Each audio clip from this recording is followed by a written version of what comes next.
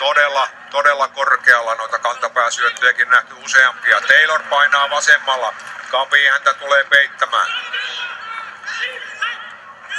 Muinonen. Sitten on Ravekilla laukaisutilanne. Yläkulmaan! Oi, mikä maali! 3-0! Siinä oli aikaa! Siinä oli silmää! Mikko Vilmunen tuossa vitosen viivalla! Kevyesti, ei liian kovalla vauhdilla, ei liian kovalla voimalla. Oikean yläkulmaan putoava pallo. 3-0.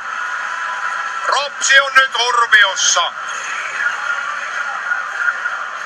34. minuutti menossa ja Bravek vetää 3-0 siinä tilanne. Ja Vilmunen tuossa vitosen viivalla ja on voimaton Bravekin laatu laukaukselle. Oh, tässähän on nyt sitten